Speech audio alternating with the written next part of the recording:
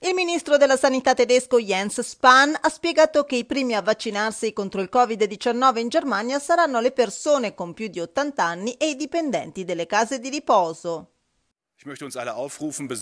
Vorrei invitare tutti noi ad avere pazienza di fronte a questa situazione, ha detto il ministro in conferenza stampa a Berlino. Quando i Länder inizieranno le vaccinazioni, probabilmente il 27 dicembre, le dosi saranno limitate e l'ordine è chiaramente definito. Prima le case per anziani, coloro che ci vivono e che ci lavorano e chi ha più di 80 anni.